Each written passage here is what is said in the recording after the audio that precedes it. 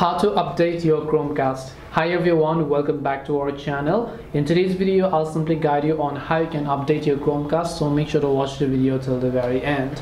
If you'd like to update your Chromecast, which means the software of your Chromecast, because you could be facing some type of issues, and in order to do so, first of all, all you have to do is from the very top of the navigation menu, just go to this option or this gear icon called settings.